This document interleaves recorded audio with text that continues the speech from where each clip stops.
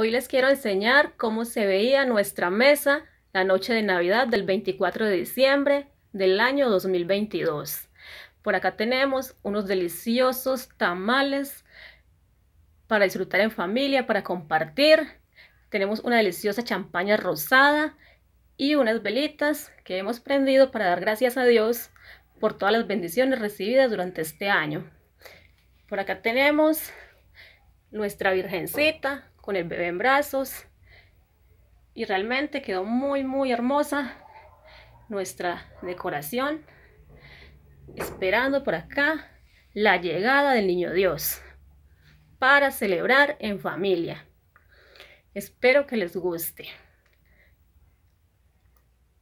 Por favor, no se pierdan nuestro próximo video y no olviden suscribirse en YouTube.